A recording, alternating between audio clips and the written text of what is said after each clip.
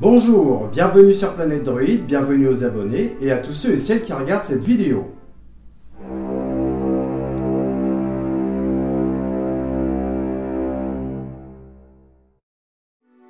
La semaine dernière, je vous ai présenté cette clé Android qui se connecte sur un téléviseur et cette semaine, je vais vous expliquer comment configurer le mini clavier sans fil avec cette clé Android TV.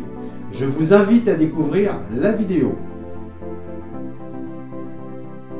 Le dongle se trouve dans le logement du mini clavier sans fil et il suffit de connecter le dongle à la clé Android TV et d'utiliser l'interrupteur on-off qui se trouve sur le côté du clavier sans fil.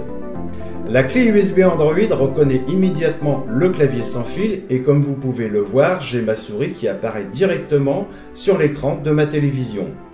Maintenant, il faut configurer la clé Android TV en français afin d'obtenir les menus traduits en français. Donc ici, il faut sélectionner langage et input et en haut à droite à langage, sélectionnez langue et faites défiler les langues jusqu'à ce que français France apparaissent et sélectionnez cette traduction. Maintenant, les menus de la clé USB Android sont en français. Ensuite, il faut configurer le clavier physique. Si vous ne le faites pas, votre mini clavier sans fil ne sera pas en français. Le A sera le Q et le Q sera le A, ce qui est très gênant. Vous trouverez les liens de l'application dans la description YouTube. Cette application n'est plus disponible sur le Google Play, il faut aller la télécharger sur d'autres sites où elle est encore disponible. Pour télécharger cette application, il faut le faire sur votre ordinateur. Et sur cette page, vous avez le choix d'un fichier compressé en RAR et d'un fichier non compressé. Pour exemple, je vais télécharger la version non compressée.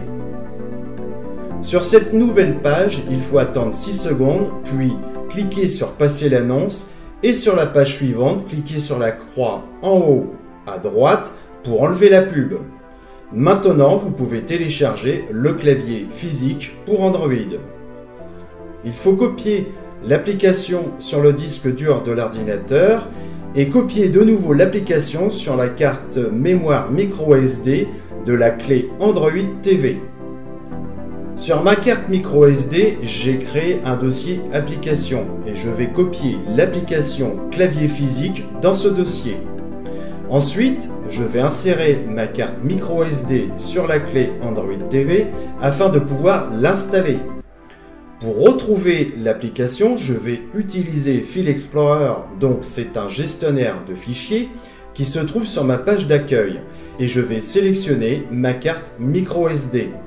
Dans mon dossier application que j'ai créé, je vais sélectionner l'application clavier physique et l'installer. L'installation est simple, il faut valider et accepter. Maintenant que l'application est installée, il faut quitter le gestionnaire de fichiers et se rendre de nouveau dans les paramètres de la clé Android. Il faut sélectionner le menu Langage et saisie qui est représenté par une icône avec un A et activer le clavier physique en cochant la case, puis valider avec la touche OK. Ensuite, il faut configurer le clavier. Et comme vous pouvez le voir, le clavier actuel par défaut est le clavier virtuel de la clé Android. Il faut sélectionner par défaut juste en dessous de clavier et mode de saisie et dans cette nouvelle fenêtre, il faut sélectionner le clavier physique. Maintenant, mon clavier fonctionne bien en français et en AZERTY. Une dernière petite astuce, dans mon cas, ma clé est configurée pour installer des applications ne provenant pas du Google Play. Si au moment de l'installation de cette application, un message apparaît installation bloquée, il faut autoriser les applications de source inconnues. Pour cela, il faut se rendre dans les paramètres et à sécurité, il faut cocher la case autoriser l'installation des applications de source inconnue. Cette vidéo touche à sa fin. Je vous invite à découvrir la chaîne Planète Droid, mais aussi à partager les vidéos sur les réseaux sociaux comme Facebook. Je vous dis à très bientôt pour une prochaine vidéo.